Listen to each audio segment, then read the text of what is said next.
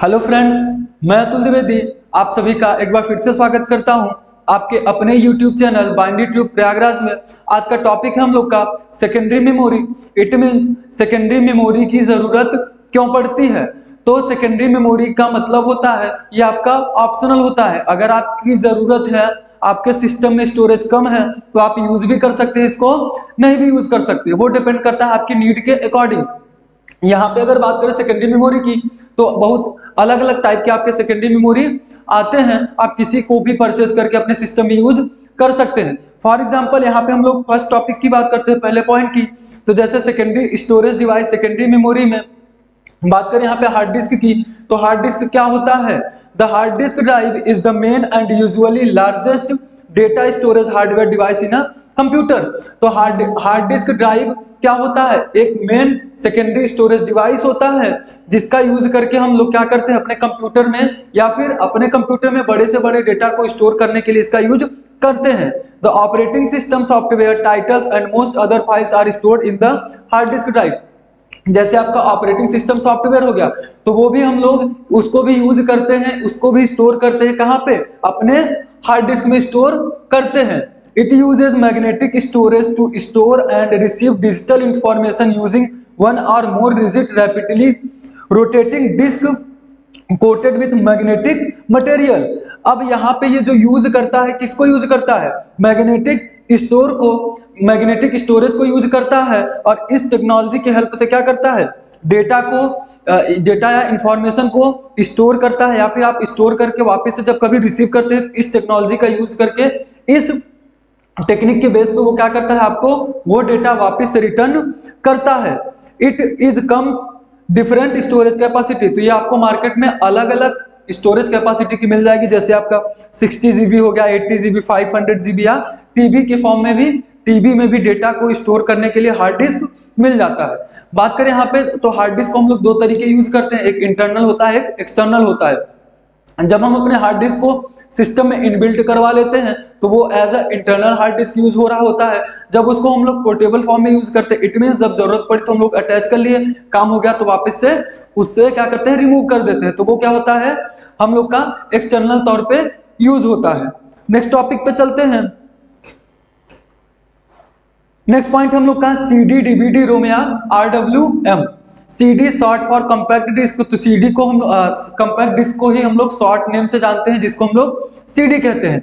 It is an optical medium that can store digital data ये किसी digital data को store करने का ऑप्टिकल मीडियम होता है। It is design to replace the old cassette tapes तो इसको डिज़ाइन किया गया था। पुराने वाले जो कैस, टेप के कैसेट होते हैं उस टेक्नोलॉजी को रिमूव किया गया। इट मीन उसको रिप्लेस करके ये सीडी उसके प्लेस पे क्या किया गया? फिक्स किया गया। Usually standard CD can store about 700 MB of data सामान्यतः आपका जो एक स्टैंडर्ड सीडी में स्पेस होता है डेटा को स्टोर करने का वो 700 हंड्रेड ही डेटा स्टोर कर पाते हैं।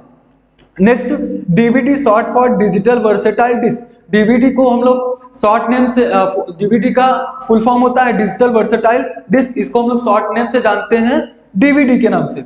It is also an optical medium to store digital data ये भी एक डिजिटल डेटा को स्टोर करने का ये भी एक ऑप्टिकल मीडियम था. Standard DVD can hold 4.7 GB of data एक स्टैंडर्ड डीवीडी जो होता है वो 4.7 जीबी डेटा को स्टोर कर सकता है। So DVD is widely use to store large file like video and movie तो यहाँ पे क्या होता है? डीवीडी को हम लोग बड़े डीवीडी में बड़े से बड़े डेटा को स्टोर कर पा रहे हैं। जैसा कि आप यहाँ पे देख सकते हैं 4.7 जीबी डेटा को यहाँ पे स्टोर कर सकते हैं। फॉर एग्ज़ाम्पल आप मूवी या वीडियो वगैरह यहाँ पे स्टोर कर पाते हो। The capacity is the biggest difference between CD and DVD अब जो बड़ा बड़ा डिफरेंस है सीडी और डीवीडी के बीच में, वो वो उसका डिफरेंस मेन डिफरेंस है कैपेसिटी की वजह से। तो यहाँ पे क्या होता है? सीडी में आप 700 हंड्रेड एमबी के डेटा को स्टोर कर पाते हो, लेकिन डीवीडी में आप 4.7 जीबी डेटा को स्टोर कर पाते हो। आइए चलते हैं अपने नेक्स्ट टॉपिक पे। तो नेक्स्ट टॉपिक हम लोग का स्पेशल टाइप मेमोरी जिसमें हम लोग कैश मेमोरी को पढ़ते हैं।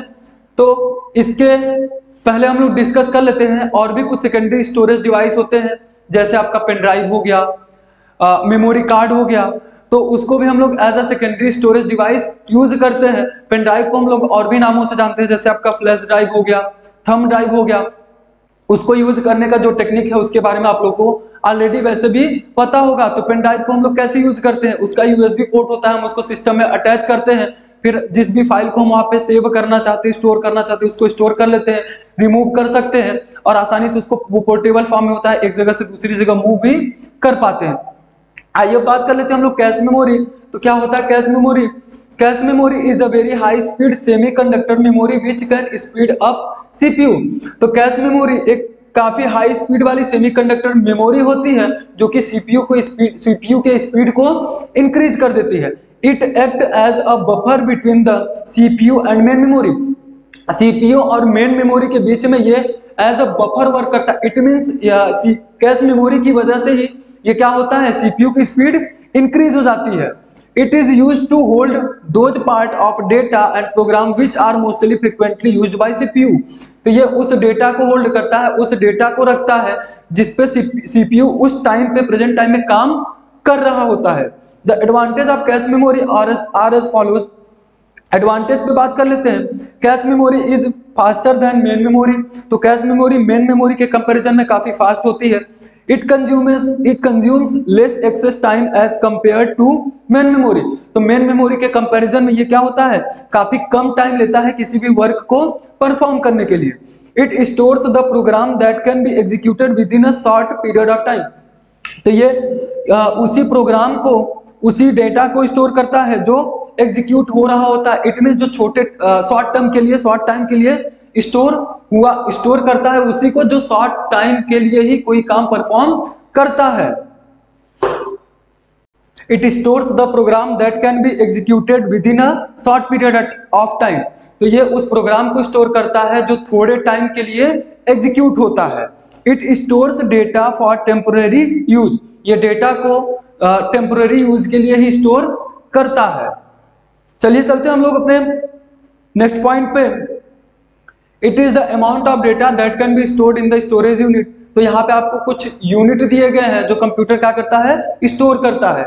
Unit of computer memory management measurement तो आप इसको देख लीजिएगा और इसको कॉपी में भी नोट कर लीजिएगा। बात करें यहाँ पे वन बिट की तो बाइनरी डिजिट की बात होगी, या तो फिर एक ज़ीरो होगा, या तो फिर एक वन होगा। वन बाइट में आपके टोटल एट बिट होते हैं। इट मीन्स ये ज़ीरो और वन का कलेक्शन होगा। ये जब एट बिट हो जाएँगे तो वो वन बाइट हो होगा। अब वन के बी में आपके one zero two four byte होते हैं। One zero two four K B में वन एम होते हैं। आप इसको एक बार स्टार्ट को देख लीजिएगा। आइए चलते हैं हम लोग अपने नेक्स्ट टॉपिक पे। तो बात करते हैं यहाँ पे हार्डवेयर एंड सॉफ्टवेयर की। तो सबसे पहले हम लोग स्टार्ट करेंगे, क्या होता है हार्डवेयर तो हम लोग अगर डायरेक्टली बोले तो the physical component of a computer is known as hardware तो आपके कंप्यूटर का जो फ़िज़िकल कंपोनेंट होता है, जो फ़िज़िकल पार्ट होता है, जिसको हम लोग टच कर पाते हैं, उसको क्या कहते हैं? हार्डवेयर एग्ज़ाम्पल है आपके। जैसे आपके इनपुट डिवाइस में आपको माउस आपका माउस हो गया कीबोर्ड हो गया मदरबोर्ड हो गया, ये सब क्या है? हार्डवेयर हार्डवेयर डिवाइस में के पार्ट है। आउटपुट डिवाइस में प्रिंटर हो गया मॉनिटर हो गया सेकेंडरी स्टोरेज डिवाइस में हम लोग हार्ड डिस्क को यूज़ करते हैं सीडी डीवीडी इंटरनल कंपोनेंट में जैसे सीपीयू मदरबोर्ड रैम एटसेट्रा तो कंप्यूटर का कोई भी फ़िज़िकल पार्ट हो, कोई भी फ़िज़िकल कंपोनेंट हो that is known as hardware hardware represent the physical and tangible component of a computer the component that can be seen and touch next topic है हम लोग का तो बात करते हैं यहाँ पे relationship between hardware and software hardware और सॉफ्टवेयर के बीच में क्या रिलेशनशिप होता है? Hardware and software are mutually dependent on each other both of them must work together to make a computer produce a useful output. तो hardware और software दोनों एक दूसरे पर डिपेंड रहते हैं। कोई भी एक दूसरे के अपसेंस में कोई किसी भी वर्क को परफॉर्म नहीं कर सकता। नेक्स्ट है software can not be utilise without supporting hardware तो बिना हार्डवेयर के सपोर्ट के हम लोग सॉफ्टवेयर से कोई काम नहीं कर सकते सॉफ्टवेयर का कोई भी यूज़ नहीं कर सकते। Hardware without setup program to operate upon can not be utilise and is useless hardware के साथ भी वही होता है, अगर आपका कोई प्रोग्राम सेट नहीं है, कोई भी प्रोग्राम कोई भी प्रोग्राम बना है तो बिना सॉरी आप अगर हार्डवेयर का यूज़ करना चाहते हैं तो वहाँ पे क्या होगा? अगर आपके पास कोई सॉफ्टवेयर नहीं है तो आप उस हार्डवेयर का यूज़ नहीं कर सकते। Software development is very expensive and is a continuing expenses तो सॉफ्टवेयर डेवलपमेंट क्या होता है? एक्सपेंसिव होता है और ये कंटिन्यू कंटिन्यूइंग एक्सपेंस ये हमेशा क्या होता है? बढ़ता रहता है क्योंकि हमेशा कुछ ना कुछ चीज़ें अपडेट होके ऐड होती रहती है। Different software application can be loaded on a hardware to run run different job तो अलग अलग सॉफ्टवेयर को हम लोग क्या करते हैं? सिस्टम में लोड करते हैं और उस, उसकी हेल्प से हम लोग अलग अलग वर्क परफॉर्म करवाते हैं। A software act as an interface between the user and the hardware तो सॉफ्टवेयर का एक दूसरा काम भी होता है, वो क्या करता है? यूज़र और हार्डवेयर के बीच में इंटर इंटरमीडिएट का वर्क भी करता है। If hardware is the heart of computer system then software is a soul both are complementary to each other यहाँ पे अगर बात करें हार्डवेयर अगर आपके कंप्यूटर सिस्टम का हार्ट है तो आपका सॉफ्टवेयर भी सोल है। तो आप हार्ट और सोल के कनेक्शन से समझ सकते हैं कि हार्डवेयर और सॉफ्टवेयर एक दूसरे पे कैसे इंटरडिपेंडेंट हैं। नेक्स्ट पॉइंट हम लोग का सॉफ्टवेयर क्या होता है? तो software is a set of program which is design to perform a well defined function तो सॉफ्टवेयर क्या होता है? किसी भी प्रोग्राम का एक सेट होता है। किसी भी आ, काम का जो छोटा छोटा इंस्ट्रक्शन होता है किसी भी वर्क को करने के जो कई सारे इंस्ट्रक्शन होते हैं, उसी से मिलता है हम लोग का, मिलके बनता है क्या? प्रोग्राम बनता है which is design to perform a well defined function जिसको डिज़ाइन किया जाता है किसी भी फ़ंक्शन को परफॉर्म करने के लिए, किसी भी वर्क को परफॉर्म करने के लिए। A program is a sequence of instruction written to solve a particular problem program क्या होता है? किसी भी इंस्ट्रक्शन को जब सीक्वेंस में हम लिख देते हैं तो उसी को क्या कहते हैं? प्रोग्राम कहते हैं। और वो प्रोग्राम किस लिए लिखा जाता है? To solve a particular problem किसी पर्टिकुलर प्रॉब्लम को सॉल्व करने के लिए। There are two type of software आपके सॉफ्टवेयर दो टाइप के होते हैं। एक होता है सिस्टम सॉफ्टवेयर एक होता है एप्लीकेशन सॉफ्टवेयर सिस्टम सॉफ्टवेयर में आपके दो तीन टाइप होते हैं, जिसमें आपका पहला है ऑपरेटिंग सिस्टम सॉफ्टवेयर दूसरा है यूटिलिटी सॉफ्टवेयर तीसरा है सिस्टम डेवलपमेंट सॉफ्टवेयर या फिर इसी को हम लोग प्रोग्रामिंग लैंग्वेज सॉफ्टवेयर भी कहते हैं। बात करें यहाँ पे ऑपरेटिंग सिस्टम की तो ऑपरेटिंग सिस्टम में जैसे आपको विंडोज़ एक्सपी मिल जाएगा विंडोज़ सेवन मिल जाएगा Windows eight Windows nine ten eleven तो कई सारे विंडोज़ के लेटेस्ट वर्जन मिल जाते हैं। ये ऑपरेटिंग सिस्टम के टाइप है। लाइनेक्स हो गया, आपका मैक हो गया एंड्रॉइड हो गया। नेक्स्ट है आपका यूटिलिटी सॉफ्टवेयर तो यूटिलिटी सॉफ्टवेयर में जैसे आपका डिस्क डिफ्रेगमेंट हो गया एंटीवायरस हो गया क्लीनअप हो गया तो आपके सिस्टम में ये भी क्या होते हैं? पहले से कुछ चीज़ें इंस्टॉल्ड मिलती हैं। नेक्स्ट है आपका सिस्टम डेवलपमेंट सॉफ्टवेयर तो सिस्टम डेवलपमेंट सॉफ्टवेयर में जैसे आपकी प्रोग्रामिंग लैंग्वेज सॉफ्टवेयर की बात करें तो कंपाइलर हो गया इंटरप्रिटर हो गया, या फिर असेंबलर हो गया। नेक्स्ट है हम लोग का एप्लीकेशन सॉफ्टवेयर तो एप्लीकेशन सॉफ्टवेयर में आपका जैसे एम एस वर्ड हो गया एम एस एक्सएल हो गया एम एस पावर पॉइंट हो गया। एक बार फिर से हम लोग देख लेते हैं। अगर हम डायरेक्टली बोले कि व्हाट इज़ सिस्टम सॉफ्टवेयर तो सिस्टम सॉफ्टवेयर वो सॉफ्टवेयर होता है जो सिस्टम को रन करने में हेल्प करता है। नेक्स्ट अगर बात करें एप्लीकेशन सॉफ्टवेयर की तो एप्लीकेशन सॉफ्टवेयर वो सॉफ्टवेयर होता है जो यूज़र अपनी नीड के अकॉर्डिंग जो यूज़र अपनी ज़रूरत के अनुसार डाउनलोड करता है, उसको क्या कहते हैं? एप्लीकेशन सॉफ्टवेयर एप्लीकेशन सॉफ्टवेयर को सिस्टम सॉफ्टवेयर की कोई ज़रूरत नहीं है, लेकिन एप्लीकेशन सॉफ्टवेयर को रन करना है तो वहाँ पे सिस्टम सॉफ्टवेयर की ज़रूरत पड़ेगी। The system software is collection of program design to operate control and extend the processing capabilities of the computer itself.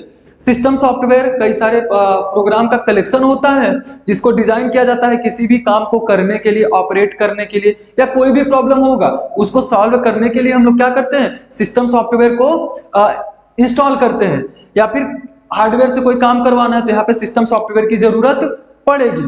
System software are generally prepared by computer manufacturer system software को बनाया जाता है जब computer manufacturer हो रहा होता है तो वहाँ पे उसको पहले से ही क्या किया जाता है? इंस्टॉल करके तब आप उसको यूज़ कर पाते हैं।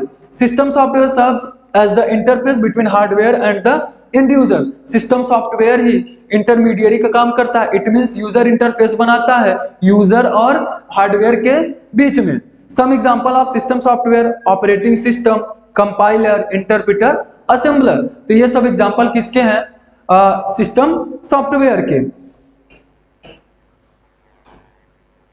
application software product are designed to satisfy a particular need of a particular environment all software applications prepared in the computer lab can come under the category of application software. Application software may consist of a single program such as Microsoft Notepad or written writing and editing simple text.